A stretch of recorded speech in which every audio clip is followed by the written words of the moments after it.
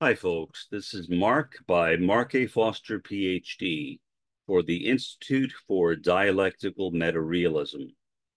Today, I want to attempt to produce a discussion of Zionism and other forms of imperialism that won't drive me out of my mind, uh, which is what I found what was happening uh, exactly this past season when I spent so much time talking about the subject.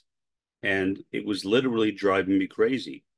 Um, as an autistic, I have a tough time dealing with mm, extreme emotion, put it that way. Um, when I am confronted by extreme emotion, I tend to go back into a shell. And I don't know why. But that's the way I've always been since I was a child. When other kids would abuse me, which was constant, basically beating me up walking home from school, I would simply go home and I would stay there. And then my mother would come to me and say, Mark, go out and play with your friends. And I would think to myself, what friends? I don't have any friends. I only have enemies. I have people who hate me, who beat me up, who bully me constantly. And so I had to deal with both the constant bullying and the constant pressure from my mother to, um, I don't know, to engage with other children. And obviously, I didn't like either one. Now, I might have, under other circumstances, liked engaging with other children. Would have been nice. But uh, given my circumstances, my autism, um, that made that kind of impossible. And so as a result, I simply ignored my mother. It was the only way that I could cope. I ignored her. She got angry. I ignored her more. She got angrier. I ignored her even more she got even angrier and angrier. And uh, so that was really a totally failed activity. I was never able as a kid to engage with other children because to, to do that meant being beaten up. And obviously, I didn't want to get beaten up. Um, is that unusual? Not for autistics, it isn't. Autistics get beaten up all the time. It is a common thing among the autistic community. Primarily autistic children, but not exclusively. Also, autistic adults. I mean, I have been bullied as an adult as well but not anywhere near as much as I was bullied as a child. And so I have learned over the years how to deal with my emotions. And that basically I am happiest when I am sitting alone in my condo. I am. I am really happy alone. Nobody's around to tell me what to do. Nobody's around to bully me. And I can do whatever I want. And now, as a retired professor, I have no students to worry about. I have no dean to worry about. It's just me. It's just me. And uh, so um, that is actually comforting to me. So uh, please don't feel bad for me. I, am sharing this uh, to um, put light or shine light, I guess is more appropriate, on an aspect of my life which I think is important to know. Because my experience is not unique. It is the experience of a lot of autistic kids. So as a result, I am careful what I talk about. And I'm careful how I talk about it. Because not to do so can send me into a panic attack. And it frequently does. Panic attacks are common among autistics. And not only among autistics, they're common among a lot of people with different types of psychological problems. But certainly they are common among autistics. From firsthand experience, I can testify to that. And yet, by the same token, as I feel a need to protect my emotions, and one way to do so is to refrain from talking that much about politics and partisanship. I also feel a need to address the issues of the day. And those issues mostly, at least from my perspective, center around imperialism. But I don't want to get back into this thing of condemning people, because if I do that, I'll go back onto my roller coaster. And I don't want to be on a roller coaster. I don't want to be upset constantly. I don't want to uh, be on a constant um, feeling, have, have a constant feeling that something horrible is about to happen to me, which is exactly the feeling I get when I talk about controversial things, especially politics. I love politics. There's nothing that I love more than politics. Well, maybe that's a slight exaggeration, but I certainly love politics. Um, as a professor, it was a part of my bread and butter. I talked about politics all the time in my classes. And I invited my students to do the same. Did they? Not really hardly ever. I mean, anybody who has been a professor can tell you the same thing. Getting students to talk is really, really, really hard. Students generally like to keep their mouths shut. Why? I don't know. Maybe they're afraid they might say the wrong thing. Maybe they're afraid they might embarrass themselves. Maybe they're afraid that uh, that I might criticize them, which I never would. I don't know. But I've noticed that through my years as a college professor, which of course involved teaching, research, and committee work, primarily those three things. And the research and committee work were fine. I had no problem at all with that. It was only with the teaching that I had a problem. And it's not because I don't enjoy teaching. I love it. But it's because I, I've got to be careful what it is that I say so I don't get myself all riled up. And my tendency is to do just that to get myself all riled up. That's my nature. I'm a very um, I was going to say an emotional person, but that probably isn't the best word. I'm a person who is very easily upset.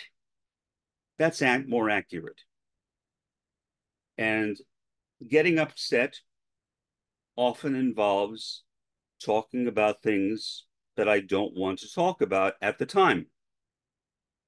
Although I love talking about politics, I also hate talking about politics. Now, talk about that for an enigma. How could I love something and hate it at the same time? But I do. So, what I have determined to do is to try to address some of the issues that I have been addressing, but to do so in somewhat of a less political, partisan, controversial tone. Now, I am not sure if that is possible. I'm really not. But I will try. If it doesn't work, I will tell you it's not working. I will be honest with you and I will back down from it and do something else. There are plenty of things I can talk about. I have a big mouth. I do have a big mouth. There are a lot of things that I can discuss. I don't need to discuss partisan politics, to discuss third worldism, to discuss socialism from below, or any of the subjects I have been addressing, intersectional Marxism, and so on. I don't need to, but I'd like to.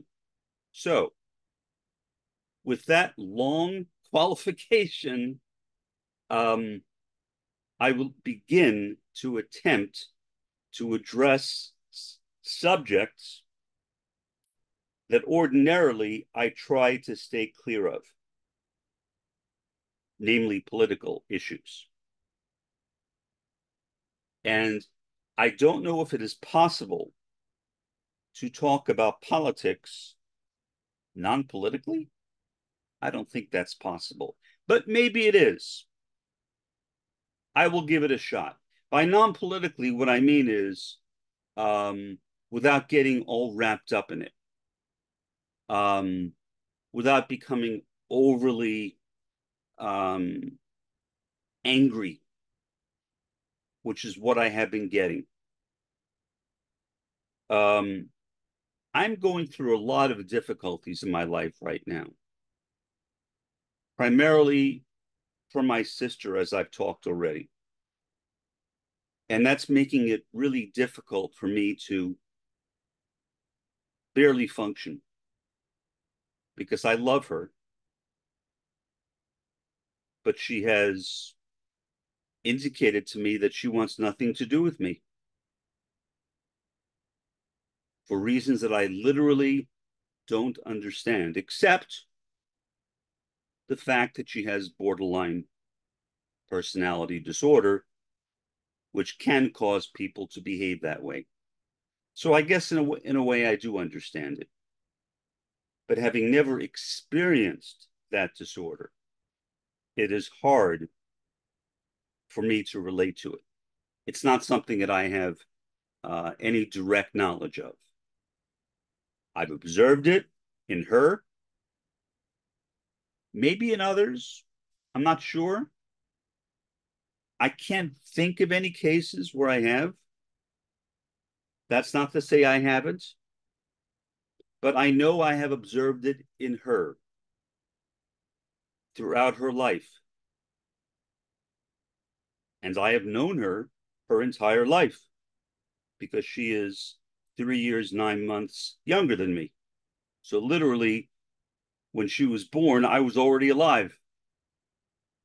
Okay, so let me give this a shot and see how it works.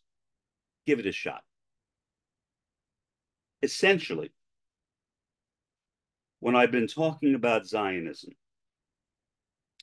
I've been talking about imperialism.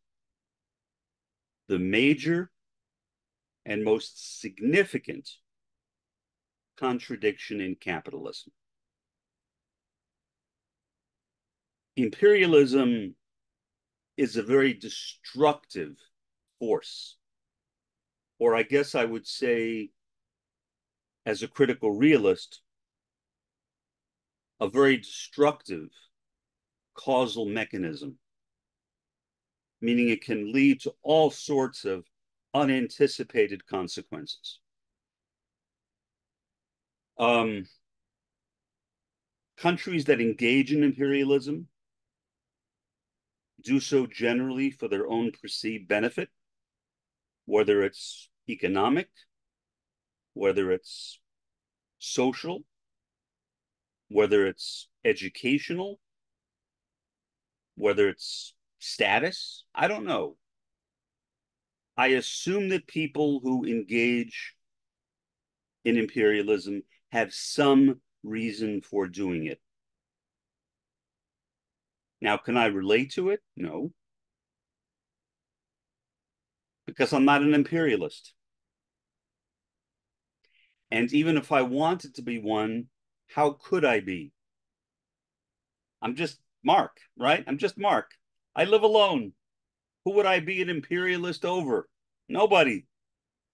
So there's nobody literally that I could practice imperialism on. I can't experience it firsthand in terms of my own personal life. I can't. But what we see in the world today, whether it is with the actions of NATO, whether it is with the actions of Israel, whether it is with the actions of Russia,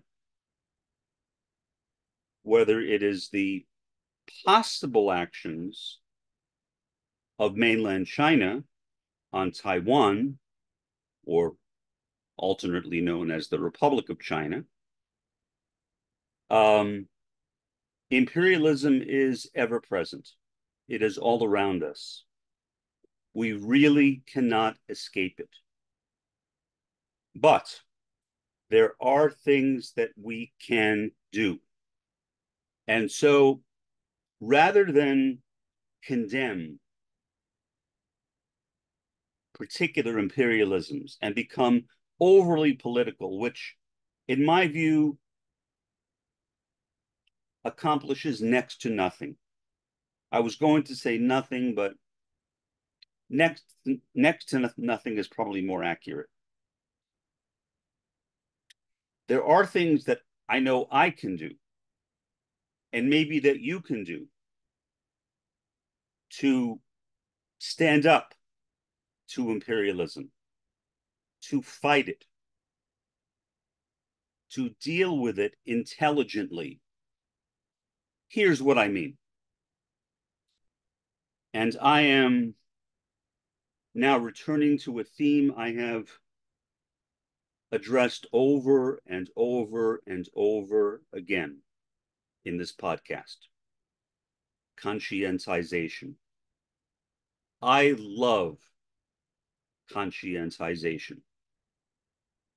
Conscientization developed as a part of the late Paulo Freire's critical pedagogy.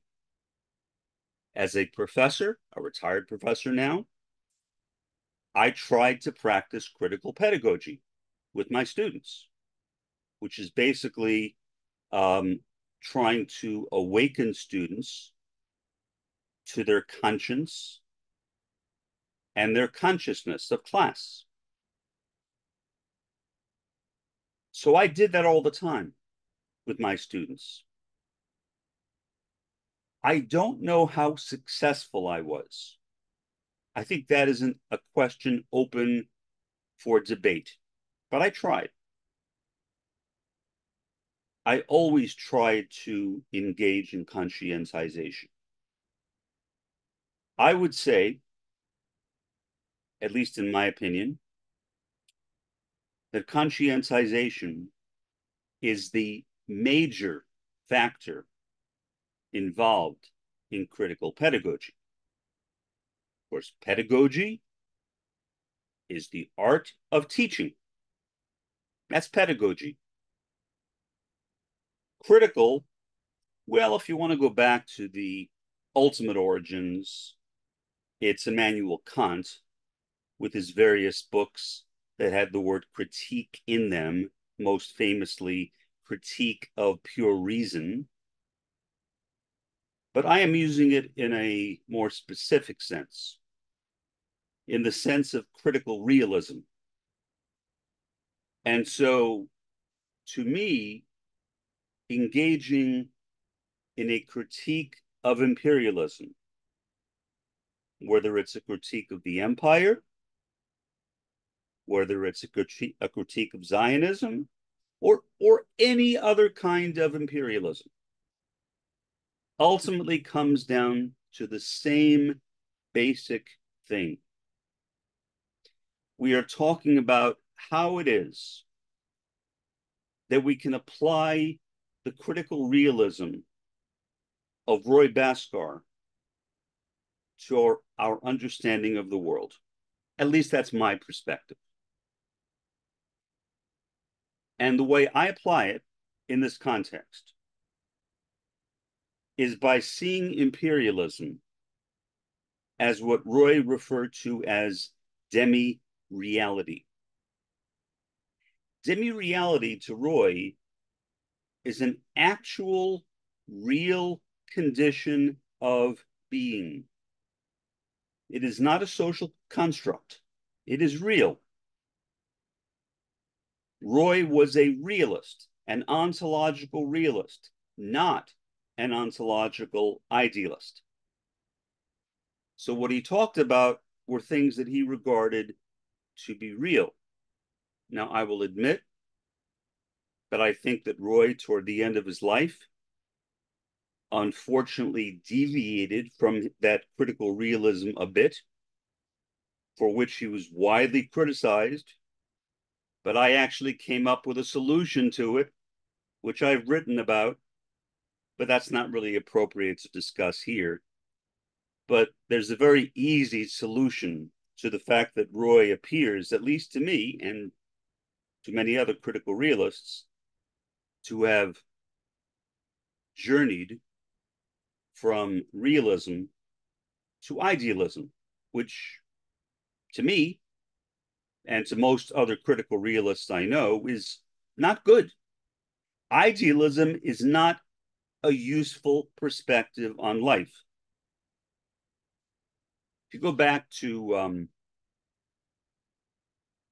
the discussion that Engels had of utopian socialism, utop- you know, socialism, utopian, and scientific. He basically, in that book, condemns idealism. Utopian socialism is an expression of idealism. Scientific socialism, which might also perhaps uh, be seen in a kind of um, concrete utopianism, But in any event, critical realism, ontological realism is about the reality of the world that we live in, not about some ideal construct of it that we make up in our minds. Simply said. So, where does that leave us? To me, it leaves us with the proposition of what direction do we want to pursue? For me, that direction is realism, critical realism. And imperialism, when looked at from the perspective of critical realism, is demi reality. Now, what did Roy mean by demi reality? For Roy, demi reality was a translation of the Sanskrit term Maya, illusion. Um, by demi reality, Roy also meant disunity. He also used the term splitting. When I first saw that word splitting, my thought was what a what an amateurish word to use. That's what I first thought. But the more I reflected on it, the more I realized why he was referring to demi reality as splitting. because what we are seeing in the world around us is a literal splitting or factionalization, if you wish, of society. And that is certainly true in cases of imperialism. Whether you were talking about the imperialism carried out by the US, by Israel, or by any other country. And for Roy, the solution to imperialism, the solution to, to demi reality ultimately, is co presence.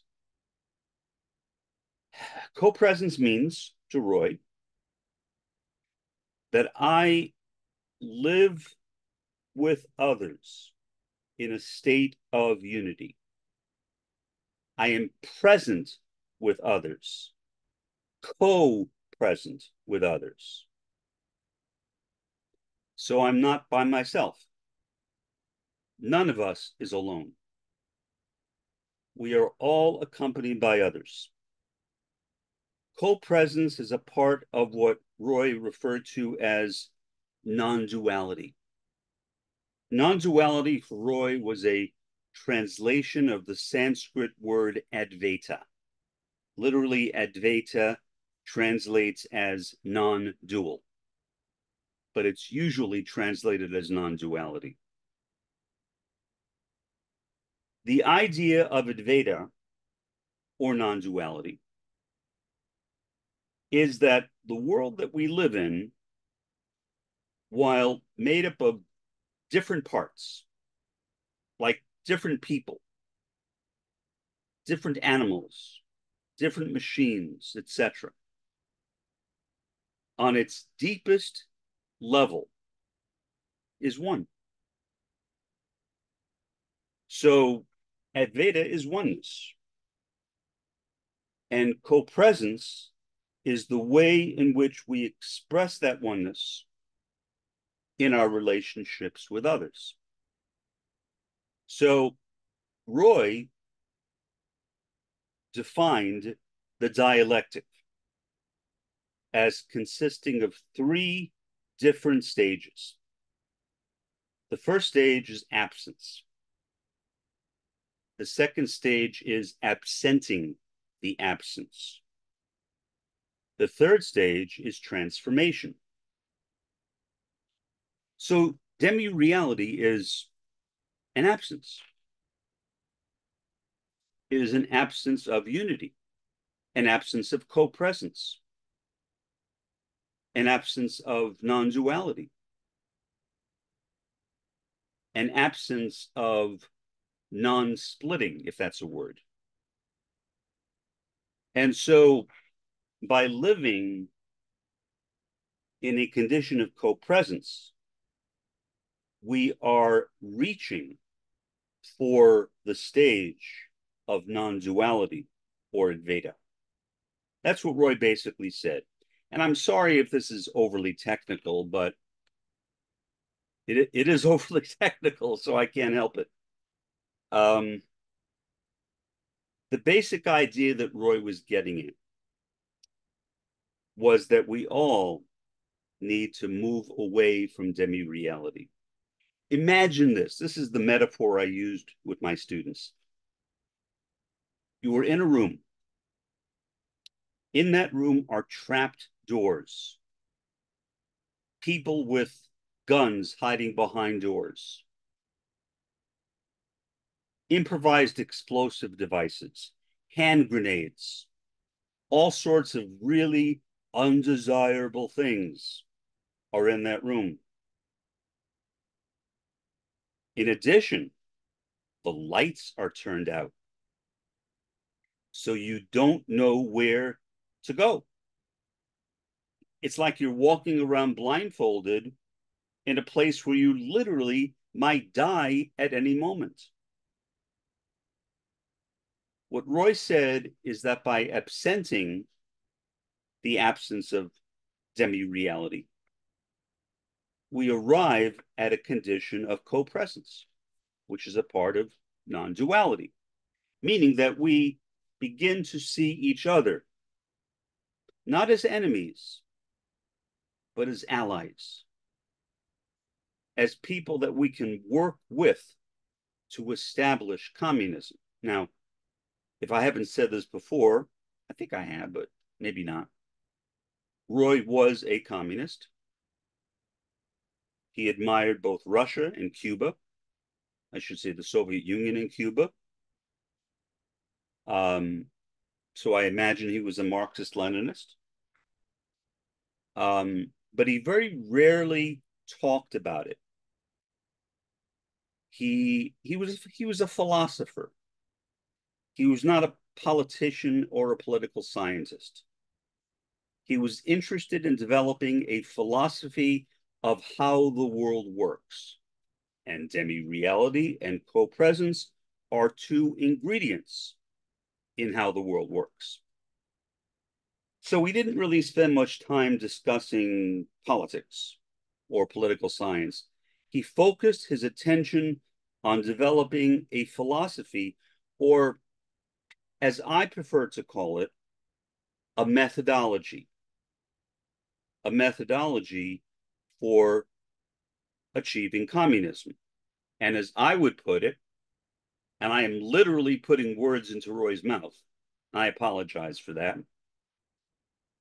A method for achieving Maoism third worldism, meaning um, since the first world is not in a position right now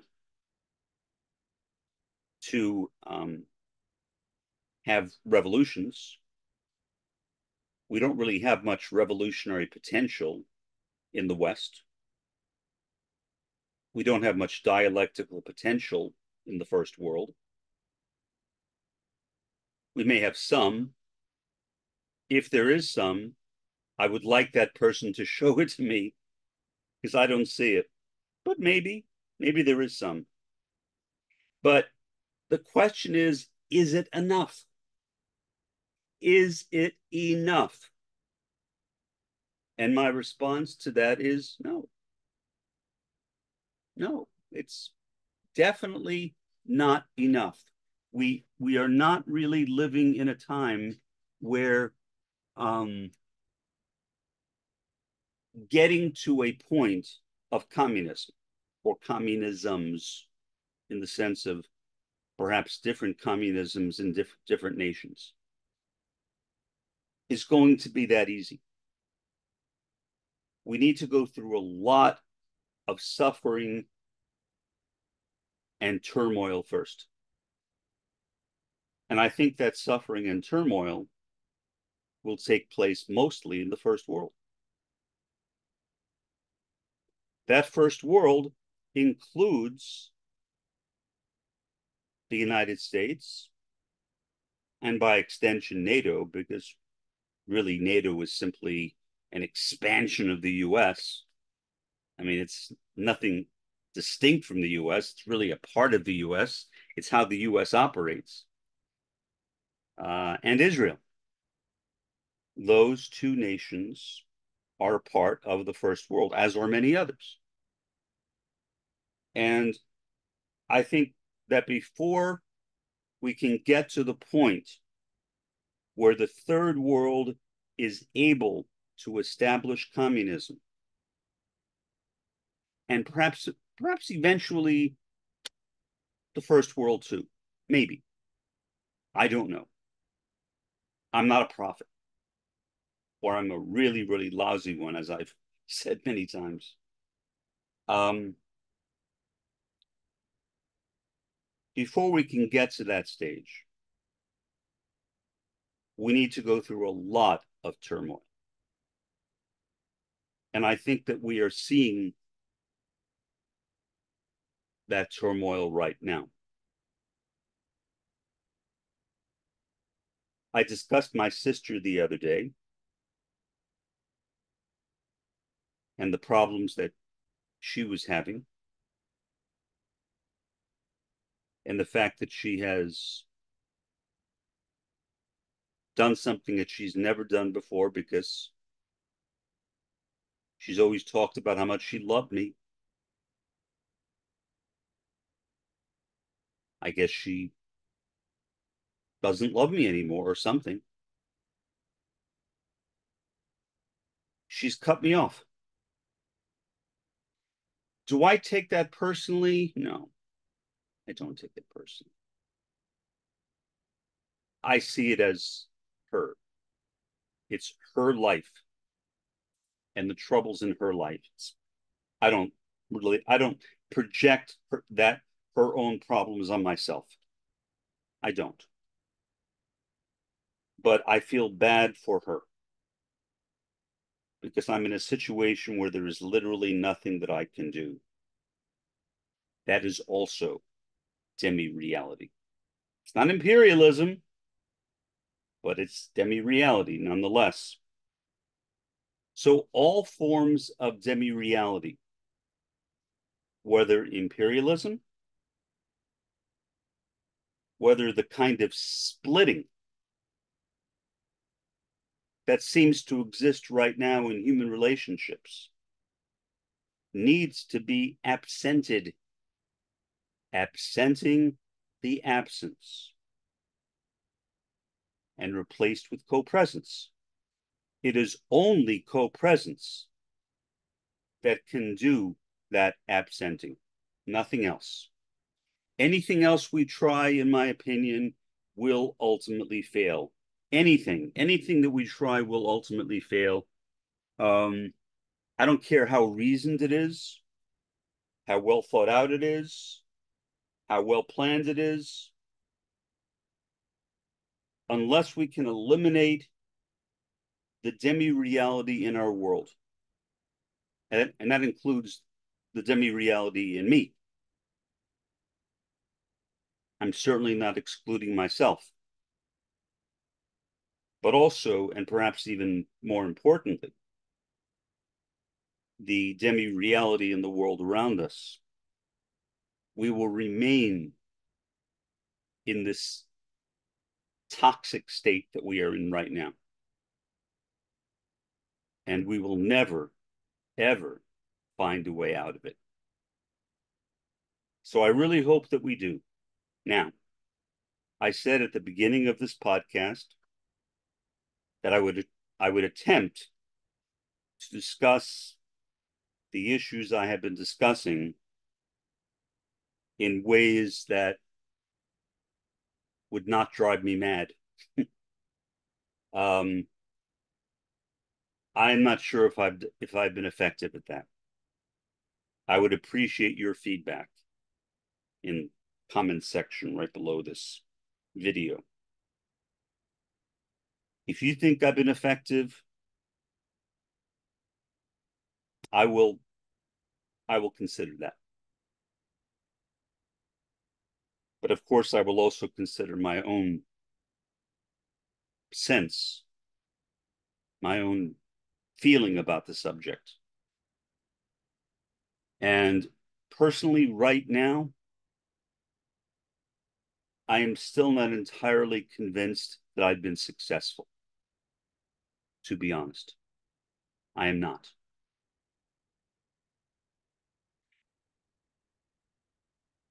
And that makes me very sad. But maybe it shouldn't. Maybe it means that I just need to work on it harder and come up with new strategies for talking about these subjects without immersing myself into a condition of demi reality. My brain in a condition of demi reality, which is what happens in the last season of this podcast. And now is a really tough time for me because of my sister. Primarily, not, not exclusively, but primarily. And so I need to watch carefully where I step. I am not I'm not convinced that I did that this time. I'm not convinced. And so I really would appreciate your feedback, your thoughts, your honest thoughts. I mean, Don't hold anything back. I'm not talking about flaming me. Please don't flame me. Is that nice? But your your honest thoughts about whether you think that I've been successful. Because I want to talk about these things, but I don't want to drive myself into a it's a complete lunacy either. It's not worth it to me. It just isn't. Because even if, if I drive myself into lunacy, I won't be effective in my conscientization. So, so it won't help anybody.